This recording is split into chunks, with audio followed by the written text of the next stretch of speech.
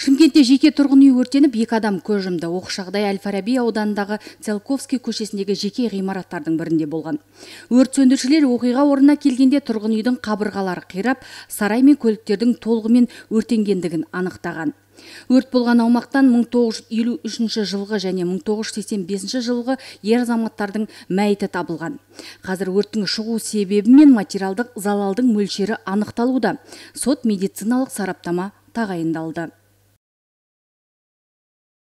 Оқиға орнына алғаш келген өрт сөндіру бөлімшелері жүз шаршы метр алаңда құлау орын алғандығын алпыс шаршы метр алаңда автомобиль сұйықтықтарды жинақтауға арналған жақын орналасқан сарай жолаушылар газелі және шатырдың астында орналасқан автомобиль сұйықтықтары толығымен жанғандығын анықтады.